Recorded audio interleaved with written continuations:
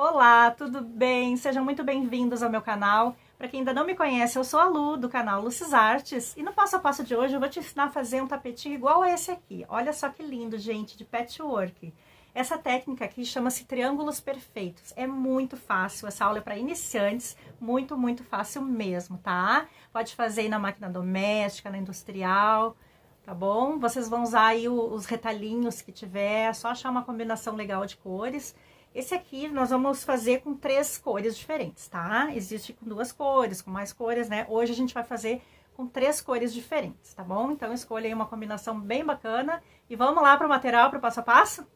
Gente, mas antes de continuar, não esqueça de deixar o seu joinha, se inscrever no meu canal, de ativar o sininho para estar sempre por dentro das novidades, de compartilhar com as suas amigas arteiras, vamos ajudar esse canal a crescer cada vez mais, tá bom? Muito obrigada, vamos lá para o material? Então, gente, para começar, a gente vai escolher três tecidos de estampas diferentes, mas que se contrastem, que se combinem entre si, tá? Por exemplo, aqui, ó. Esse aqui, ó, do cupcake, o fundo dele é um verdinho, tá? E os cupcake cor-de-rosa, né? Aí, o que que eu escolhi? Eu escolhi um rosinha e um verdinho, tá? Que eles vão se contrastar e ao mesmo tempo combinam. Aí, a gente vai cortar, então, uh, quadrados de 12 por 12. Como que a gente faz? Ó, uma ideia. Pega uma cartolina ou um EVA, no meu caso aqui eu peguei um EVA, e corta o quadrado exatamente 12 por 12, tá? Tem, eles têm que ficar iguais. E aí, a partir disso aqui, que seria o molde, tu vai cortar os teus quadrados, tá? Uh, por exemplo, aqui, ó, eu já tenho cortadinho de várias medidas, tá? Quando eu preciso, eu só venho aqui no molde, fica bem mais fácil, né? Então, a gente vai precisar de seis quadrados dessa cor, de uma cor, tá? Seis quadrados de outra cor e, o, e, a terceira cor que vai combinar com os dois, uh, 12 quadrados, tá? Nós vamos usar seis para esse e seis para esse para combinar. Então, como é que a gente vai fazer? Então, vamos pegar só essas cores aqui, ó. Pelo avesso, a gente vai riscar, ó, a gente vai medir aqui bem no meio e vamos fazer uma diagonal. Deixa eu chegar mais perto aqui da câmera. Bem na diagonal, a gente, a gente traça um risco, tá? Tá? Aí, a gente vai unir direito desse tecido com o direito daquele tecido que tem mais cores, tá? Aqui. Vamos alfinetar isso aqui, vamos deixar bem alinhadinho.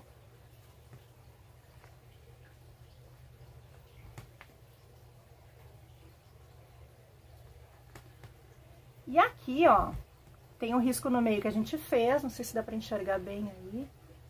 Uh, nós vamos passar uma costurinha de um pezinho de máquina, tá? De um lado do risquinho e do outro lado do risquinho, tá? Chega bem pertinho ali, tá? Pra ver o risquinho, né? Então, é um pezinho de máquina de um lado, pezinho de máquina de, pro outro, tá? Fazendo o retrocesso no começo e no final. A gente vai fazer isso com todos, tá? Então, a gente vai unir esses verdinhos aqui, por exemplo, com esse aqui do cupcake, né? E os rosinhas a mesma coisa, a gente vai unir esse com esse, tá? Vamos fazer em todos. Em todos a gente vai traçar uma linha, em todos no caso desse aqui, né? Esse aqui não precisa, porque tu já vai colocar por baixo, né? Vamos alfinetar e vamos lá na máquina fazer o, a costurinha, tá? Eu vou fazer em todos já e já volto aqui pra mostrar. Vamos lá então, gente. Aproximei o máximo possível a câmera, tá? Então, a gente vai fazer um pezinho de máquina para um lado do risquinho, um pezinho de máquina para o outro lado, tá? Retrocesso no começo e no final. O pezinho de máquina muda de uma máquina para outra, né? Na máquina industrial, o pezinho, ele tem meio centímetro, tá? Na máquina doméstica, ele tem 0,75, um pouquinho mais. Mas não tem problema, tá, gente? Façam o pezinho da sua máquina aí. O importante é todos fiquem iguais, tá? Por isso a técnica se chama triângulos perfeitos, porque todos têm que ficar perfeitamente iguais.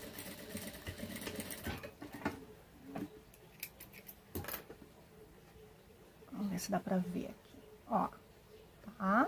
Aí agora a gente vai cortar bem onde a gente riscou, tá? Bem no meio das duas costuras.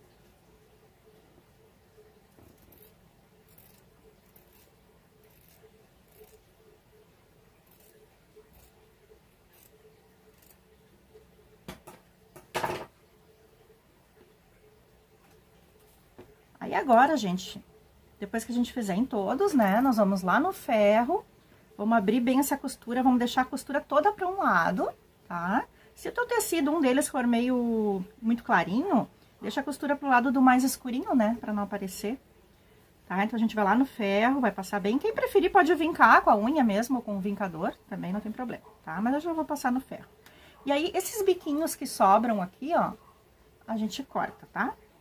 A gente corta pra ficar o quadradinho ali certinho na ponta.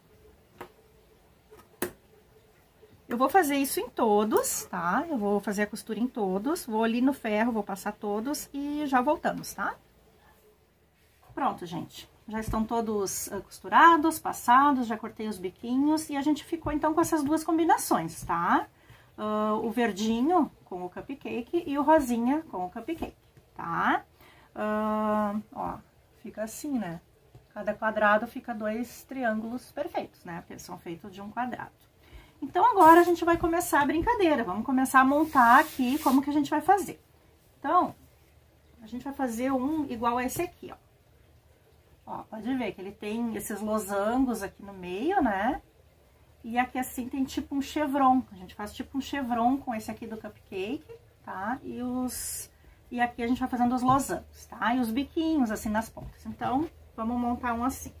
Vamos começar então fazendo os losangos do centro, né? Do, do nosso tapetinho. Uh, a gente vai combinar, então, assim, ó, verde com o rosa, tá? E aqui embaixo, ao contrário. O rosa aqui de um lado e o verde. Deixa bem no centro aqui. Aí, aqui do lado, a mesma coisa, só que a gente vai fazer o contrário. Vamos fazer o rosa e o verde. Ó, tá vendo? Pra não repetir, né? Rosa, verde, rosa, verde. Agora aqui o verde desse lado. E o rosa aqui. Vou fazer mais um quadrado. Agora aqui o rosa.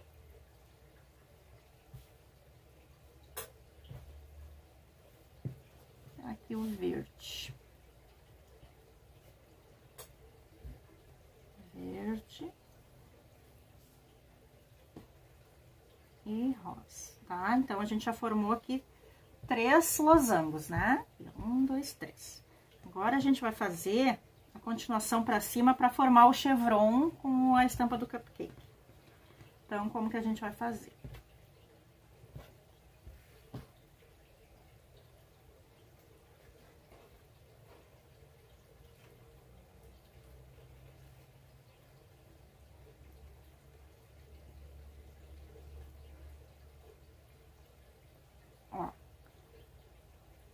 tá? A gente vai formar isso aqui, ó.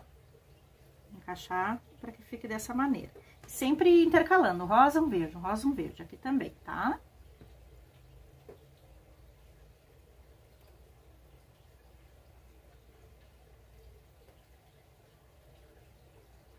Um rosa.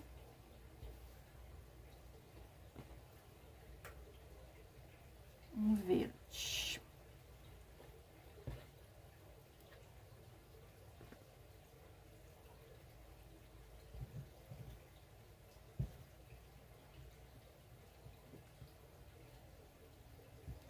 E a parte de baixo a mesma coisa.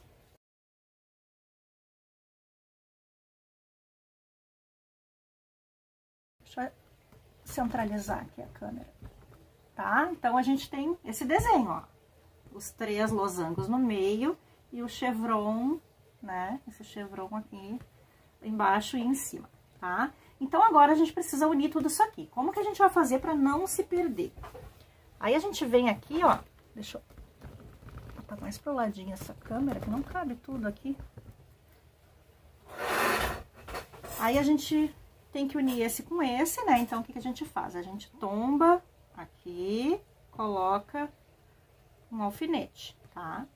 Eu uso o alfinete assim, ó, onde eu vou costurar, tá? Então, só tem que costurar aqui o alfinete assim.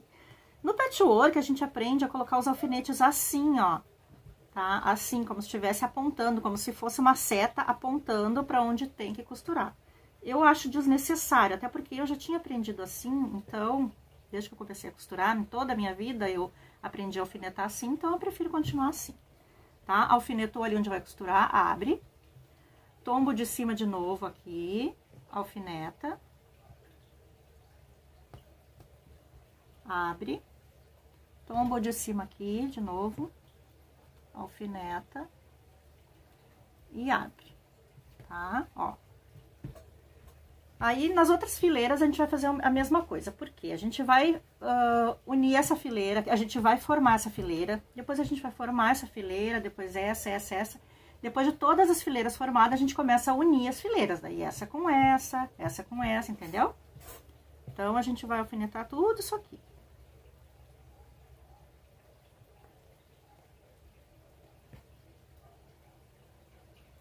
Vou alfinetando todos aqui, vou dar uma acelerada no, no vídeo, pra gente não, pro vídeo não ficar muito comprido, né?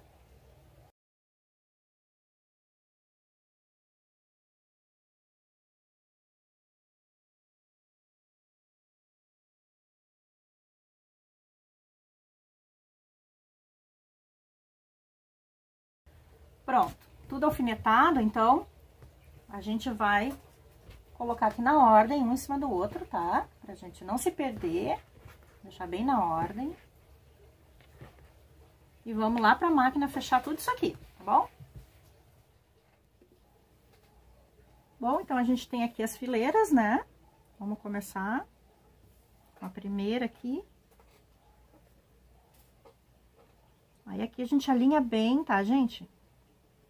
E vamos passar um pezinho de máquina. Aquela mesma medida que a gente formou os triângulos, a gente vai usar, tá? Um pezinho da tua máquina aí. Retrocesso no começo e no final.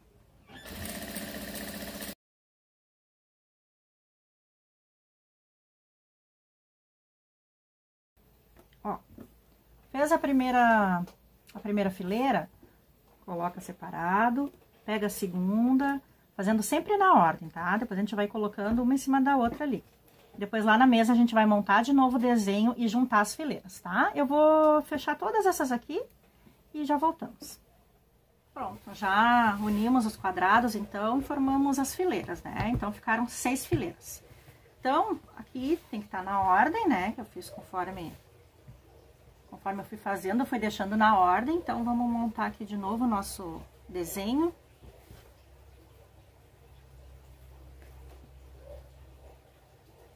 Daí a gente aproveita e já confere, né? Se a gente deixou na ordem mesmo.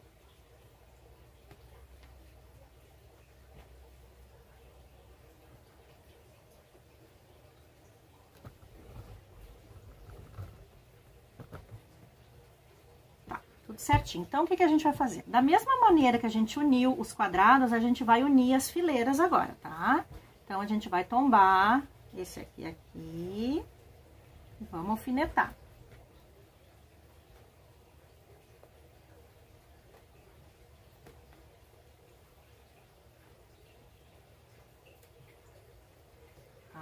Abre, tomba esse aqui.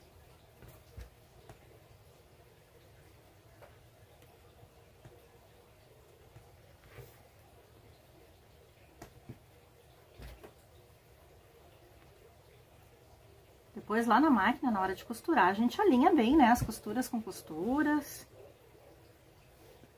Deixa bem alinhadinha, que é só pra gente não se perder na questão da ordem das, das fileiras.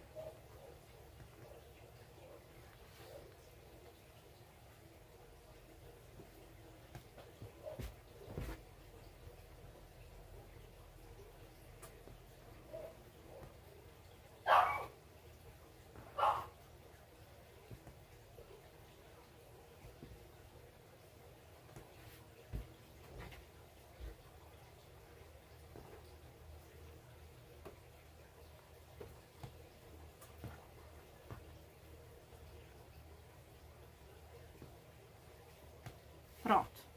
Então, tá aqui, eu vou lá pra máquina passar a costura, então a gente faz uh, com a mesma medida a costura, tá? Um pezinho de máquina aí, conforme a máquina de cada uma, né?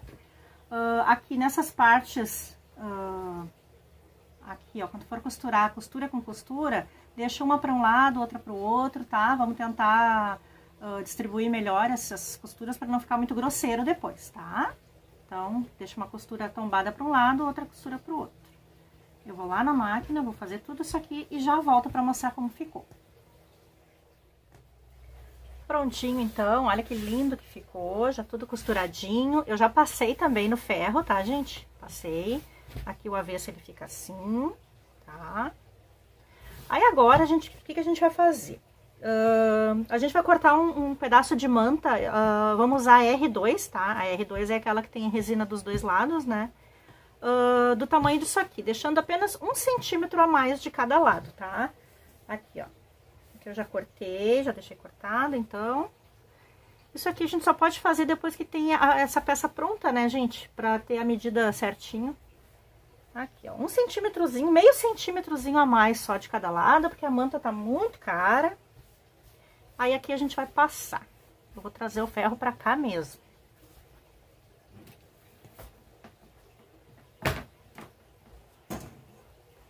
Eu tô pagando R$ 26,80 o metro da manta R2 aqui em Porto Alegre, gente. Tá muito caro. Ó, daí a gente vai passando sempre assim, ó, do meio pras pontas, tá? Não vamos esticar o tecido, apenas... Uh, apenas abrir assim as costuras, não precisa esticar. Passando de maneira que não fique aquelas bolhas, né? Isso que eu tô fazendo aqui, de passar em cima da placa de corte, isso aqui é errado. Não façam, tá, gente? Que pode danificar a placa de corte, porque ela é feita de PVC, né? Não é madeira isso aqui. E PVC é plástico, né? Pode deformar. Mas eu tô fazendo aqui que é pra mostrar pra vocês.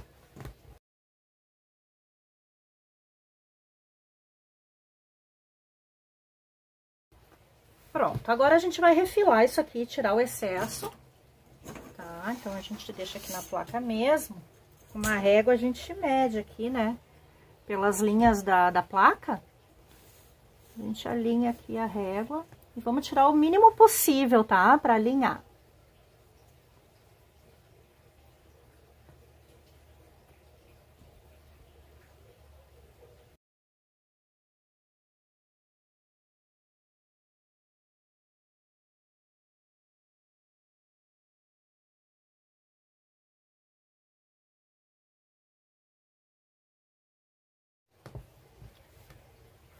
Pronto. Então, agora para a parte de trás do nosso tapetinho, a gente escolhe uma estampa, tá? Para fazer a parte de trás. Ó, eu escolhi o verdinho, tá? No outro que eu fiz, eu escolhi o rosinha, né? Ó.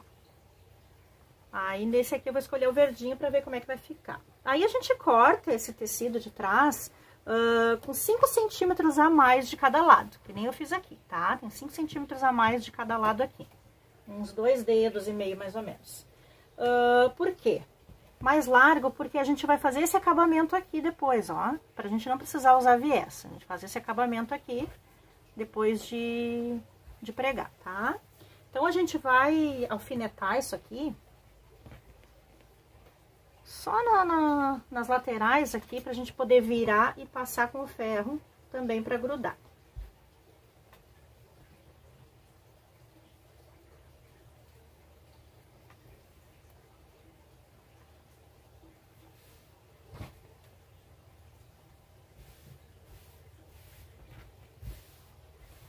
Por isso que é interessante a manta R2, que ela tem a resina dos dois lados, agora a gente vai grudar aqui.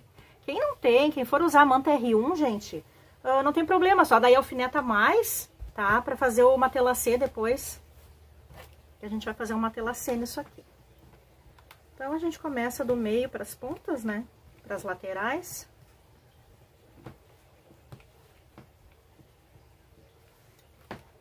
Agora, já pode tirar o alfinete.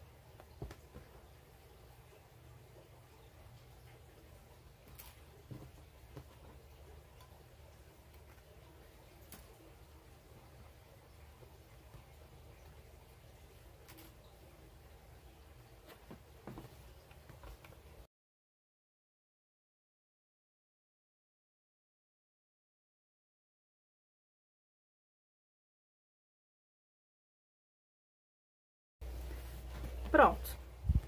Então, agora, a gente vai fazer aqui um trabalho de matelacê ou de quilting, tá? Aí fica a critério de vocês. Nesse outro aqui, eu fiz um quilting livre, tá? Não sei se dá pra ver aí. Ver pelo avesso, ó. Que é aquele caminho de bêbado, né? Nesse aqui, vamos fazer um matelacê, então. É mais fácil, tá? O matelacê é, são linhas retas, né? Então, o que, que a gente vai fazer? A gente vai aproveitar já as linhas que estão aqui do, das costuras, né? Vamos fazer todos os quadrados assim, assim. E depois a gente faz esse zigue-zague aqui, ó, tá? Esse chevronzinho aqui. Vamos fazer assim uma telacê, tá? Vamos lá junto pra máquina, então? Bom, então antes de começar uma telacê, vamos passar uma costurinha de segurança bem na beiradinha aqui em toda a volta, tá? Bem na beiradinha mesmo.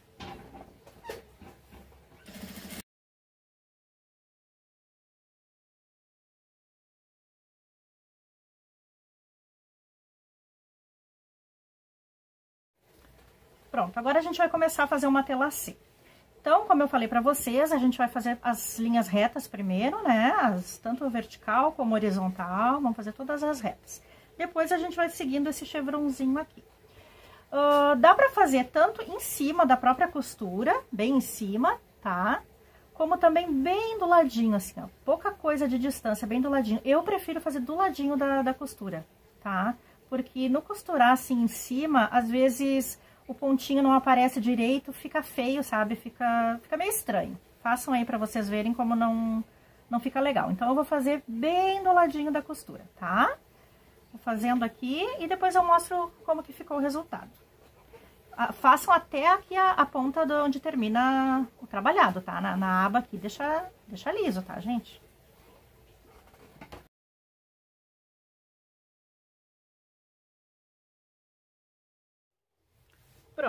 Olha só como é que fica. Vê se dá pra ver aí as costurinhas. Ó, por trás também fica bonito, fica tudo preso, dá pra lavar na máquina, não vai embolar o forro, tá? Então, agora a gente vai fazer o acabamento, né? Então, a gente vem com esses clipes aqui, ou com alfinete mesmo, o que, que a gente vai fazer? A gente vai dobrar essa lateral que ficou, dobra uma vez e dobra de novo, tá?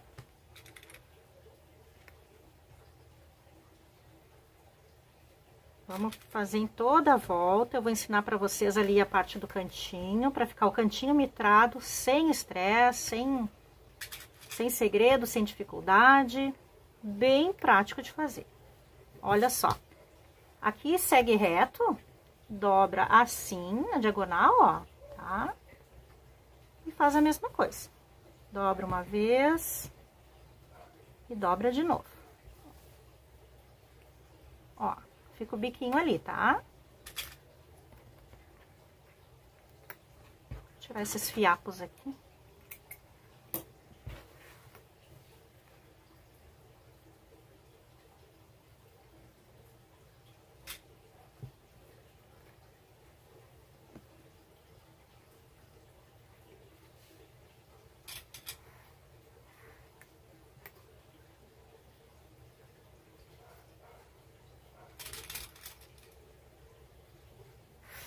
Ó, vamos fazer de novo aqui o cantinho. Dobra assim na diagonal, pra ficar bem retinho aqui, tá? Depois aqui, tu dobra de novo e de novo. Aí o biquinho deixa bem certinho assim, ó, coloca um clips. E vamos fazer em toda a volta aqui, tá?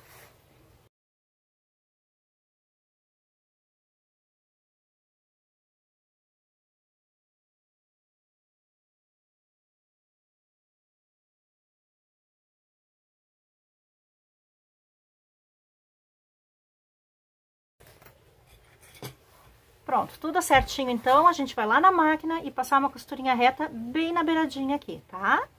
Como se fosse um viés. Vamos lá? Vamos começar aqui por uma lateral.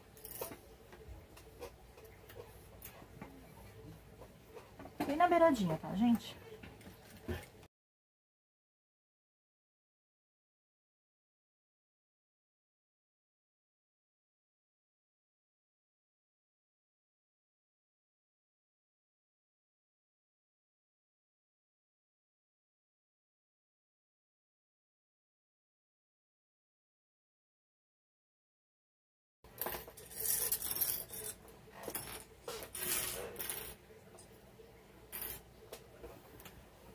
Pronto, agora nos cantinhos, gente, ó, esses cantinhos aqui, ó, a gente pode passar uma costurinha reta, tá? Até a pontinha que vai, até a pontinha e volta fazendo o retrocesso, tá?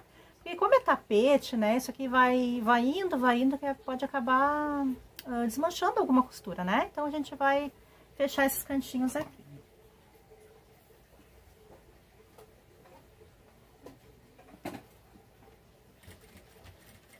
Começa do, de dentro pra fora, tá? Aí vai até o final, até ali fora. E dá o retrocesso até o começo ali de novo.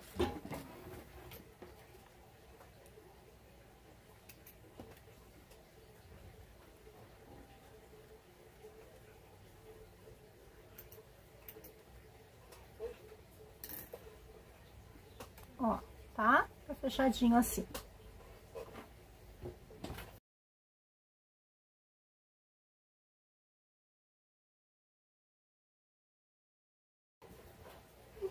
Prontinho o nosso tapete. Quem quiser passar no ferro mais um pouquinho aqui pra, pra sentar bem essa, essa última costura aqui que a gente fez, pode passar no ferro. Eu vou ali passar e mostro pra vocês, tá? Ficou pronto, então, o nosso tapetinho. Olha que graça, gente. Lindo, né? Super delicado, gostoso de fazer, né? Olha só que belo conjunto que deu aqui, né? Eu gostei mais do verdinho. Olha só, tudo costuradinho na frente e atrás, pode lavar na máquina, não tem problema de deformar, né, nem de, de ficar soltando forro ou a manta por dentro, né, tá tudo firmezinho aqui. Uh, com essa ideia também, gente, dá pra fazer uh, joguinho americano, né, dá pra fazer conjunto de banheiro, uh, tapetes de vários tamanhos, né, dá pra fazer também trilhos de mesa, só fazer mais comprido, né, e como eu falei pra vocês, esse aqui a gente fez com quadrados de 12 por 12, dá pra fazer quadrados aí de 10 por 10, dá pra fazer maior também, se quiser fazer tapetes grandes, faz aí um quadrado de 20 por 20, tá? O importante é que todos fiquem iguais, tá bom? E fazer uma combinação legal aí de, de cores, né? Então, o que, que acharam da nossa aula de hoje? Se ficou alguma dúvida, deixa aí nos comentários, tá? Que eu vou responder a todas. Espero que tenham gostado. Quem gostou, não esqueça de deixar o seu joinha. Inscreva-se no meu canal aí, quem ainda não é inscrito. Vai estar ajudando o meu canal a crescer cada vez mais, tá? Compartilhe com suas amigas arteiras, né? E não esqueça de ativar o sininho aí, tá? Pra estar sempre por dentro das novidades do canal, tá bom? Muito obrigada a todos, tenham uma ótima semana e fiquem com Deus.